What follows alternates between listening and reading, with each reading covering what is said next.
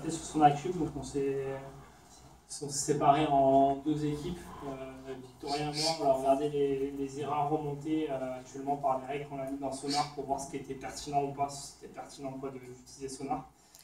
Et pendant ce temps, Yannick et Stéphane, ils ont, euh, ils ont regardé la couverture de code, voir si ça marchait bien. Quoi.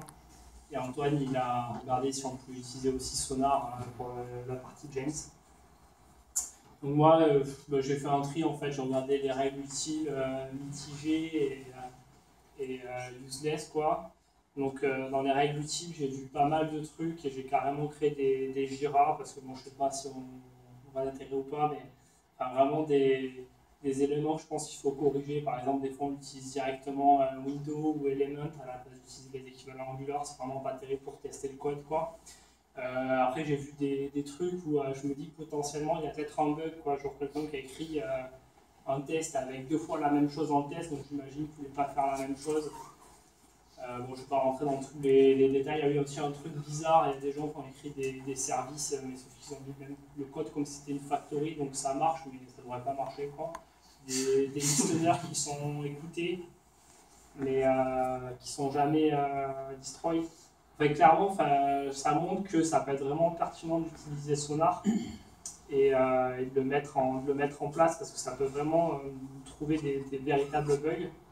Et après aussi la question qu'on vient de se poser là en fin d'après-midi avec euh, Victorien, c'est qu'en en fait Sonar derrière elle utilise des, des linters, il y en a un qui s'appelle ESNint, et je pense pour certaines règles, ça serait bien de carrément le mettre dans Grunt et de ne pas passer le Grunt si ça fait quoi. Il y a des règles où c'est tendancieux, où des fois le, le linter il sort des trucs et en fait parce qu'il ne comprend pas trop. Et trois fois sur quatre, genre ça va être positif, mais une fois sur quatre, c'est ce que tu vraiment faire, donc ça on peut pas le mettre dans le grunt. Mais euh, des trucs comme euh, tester deux fois la même chose, tester quelque chose, genre avec un OR euh, faire un OR avec un false, je pense que ça devrait pas passer de linter et ça devrait pas se retrouver sur, sur master. Alors, bon, je passe les utiles. Après, les, règles euh, alors, je ne sais pas ce que vous en pensez. Est-ce qu'il est y en a qui sont pour qu'on utilise euh, les méthodes d'Angular pour tester des trucs genre undefined, eString, isolate Moi, je ne suis, pas, suis pas particulièrement fan, mais euh, oui. vous êtes pour alors Ah oui. Ok, d'accord.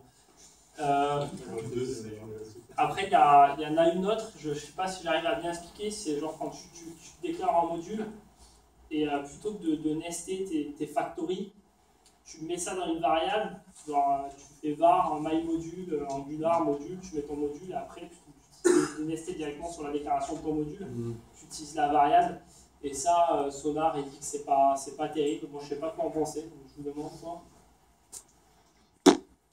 On pas les couilles. Euh, on s'en. Ah si, c'est un truc euh, global, non C'est des conventions de style, ça. Plus ouais, je vois, mais c'est bon. Oui, parce que tu crées une, tu crées une variable globale, c'est ça? À déconseiller. on peut le mettre alors. Et après, euh, des fois, il y, y, a des codes où on fait des ifs sur, sur une ligne, on fait un retourne et tout ça. Alors moi, je suis pas trop fan, mais de là à l'intérieur, je ne sais pas ce que vous en pensez. Non, personne. Okay. Ça, c'est des règles de style, c'est pareil. Ouais, c'est pas, à Sonar de décider quelles seront nos règles de style, c'est à nous de les définir, okay. formaliser ça et de diffuser au sein de mais on ne peut pas trancher euh, en séance maintenant. Pas lors d'une presse, euh, ouais, situation Et bon, après, ça, c'est, je pense, du coup, c'est soit des, des règles que je trouve pas logiques dans notre cas, ou euh, des règles, en fait, où ça marche mal et ça sort des, que des faux positifs, quoi. Et voilà. Bah, donc, je, je, passe à la suite à Yannick. Bah, donc Stéphane et moi, on était plus préoccupés par la couverture de code, c'est notre deuxième partie. Alors d'abord, on, a essayé d'intégrer ça dans notre workflow de test. Donc on a, un task runner qui est Grunt, donc qui utilise à la fois euh, Mocha, et, euh, qui sont donc des, euh, test runners, et puis en particulier pour le front-end Karma, pour lancer des, navigateurs, et en particulier du Phantom.js.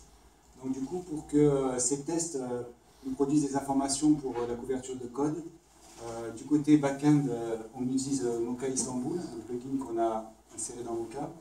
Et pour euh, Karma, on avait déjà Karma Coverage qui était déjà installé.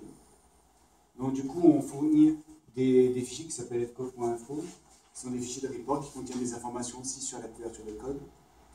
Et euh, on a installé un plugin qui s'appelle Grunt Merge qui permet en fait de, détecter tous les fichiers euh, code relatif à, la couverture de code et qui émerge dans un seul fichier. Du coup, après, ben, il ne reste plus qu'à indiquer à Sonar où se trouve le, fichier de, le fichier concernant la couverture de code et lui indiquer ce qu'on ne veut pas regarder. parce qu'en fait, lui, il garde l'ensemble des composants du projet au niveau de l'interface web, mais on ne peut pas, nous, avoir accès à, à certains répertoires qui sont inutiles et donc qui vont apparaître euh, en grisé. Alors, on a eu des difficultés euh, pendant, pendant cette implémentation parce que, justement, d'une part, le code a changé depuis, et puis il y a des tests qui passent plus quand, une fois qu'on intègre ça dans le workflow. C'est-à-dire que, par exemple, il y a des tests euh, au niveau front-end qu'on a corrigé, qu'on est obligé de corriger parce qu'il n'y passait plus quand on les exécute comme ça euh, dans notre workflow euh, normal, ça, passe. Mais là, ça passe pas. Donc, euh, il y avait encore des problèmes avec le backend. Ah, exemple, je, donne un exemple, hein, puisque ouais, j'ai pas J'ai bien compris ce que tu dis, mais c'est louche. Non, oui, oui c'est louche, mais par exemple, il y, a, des problèmes de binding. Il y, a, des choses qui passent, par exemple, quand on essaie de faire des sur des, sur des fonctions qui devraient normalement lancer des exceptions. Euh, si on ne fait pas le binding avec euh, l'objet qui, est lancé, euh, censé la, la fonction, c'est le problème classique. Hein. On passe à expect la fonction, l'objet pour la fonction, mais on n'a plus d'accès à, l'objet lui-même. Mm. Le si se change, donc du coup, ça, ça, passe pas. Et donc là, dans ce cas-là, quand on intègre dans le, workflow pour la couverture de code, ben, ça, lui, ça marche plus, il n'a plus accès à ZIS. Voilà. Après, donc du coup, on n'a on pas, pas un véritable report de ça. Mais par contre, on a, déjà regardé un petit peu euh, ce que ça donne. Et c'est assez bon pour les, euh, pour les modules qui nous intéressent, Calendar, euh, Contact, Unified Inbox, puisque je crois que le minimum c'est 79% au niveau de la couverture de code. au niveau du front-end, puisqu'au niveau du back-end, il y avait beaucoup plus d'erreurs de, test. Donc on n'a pas pu vraiment regarder. Mais du coup, c'était assez bon. Après, tout ce qui est mauvais, c'est des modules qu'on n'utilise presque pas, comme l'App Store, Project et tout ça, mais il y, a plein de, fichiers en fait qu'on n'utilise plus ou qu'on a, a écrit comme ça mais qu'on n'a pas vraiment testé. Mais pour ce qui nous intéresse, c'est-à-dire euh, Calendar, Contact et euh, Inbox, du coup c'est assez bon.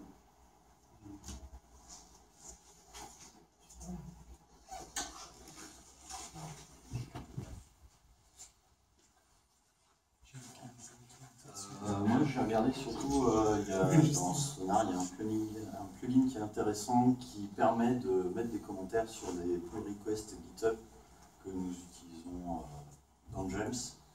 Euh, donc pour ça, j'ai commencé par faire un Dockerfile avec Sonar et l'installation du plugin. Donc ça c'est fait, ça fonctionne. J'ai intégré aussi le plugin à Jenkins, ça, ça fonctionne aussi, et j'en suis à essayer de configurer tout ensemble, créer tout ensemble. Ça pour l'instant. Donc euh, là, c'est un commit qui doit introduire une erreur, un non-respect de règles. Et on n'a pas le commentaire, on voit juste que quand même, on a l'information que Sonar s'est exécuté. Il est vert, c'est ça? Oui, il est vert. Bah, il est arrivé au bout de son exécution, mais il devrait poser un commentaire sur le commit. Donc euh, voilà, c'est... Il devrait être au moins warning du coup. Non, je ne sais pas, pas forcément. Son exécution est arrivée au bout. Là, c'est plus l'exécution de Sonar qui est arrivée au bout. Lui, il pose un peu. Mais le but, d'empêcher le merge s'il y a une violation des règles Non, parce que. Pas forcément. De toute manière, le merge, on ne le fait pas via GitHub. je ne sais pas si on peut. Vous avez des questions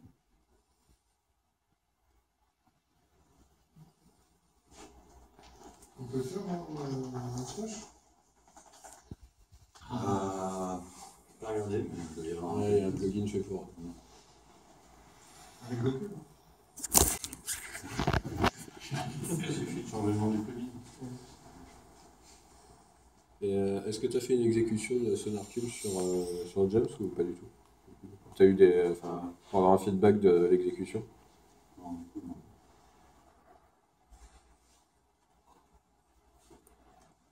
Merci Antoine.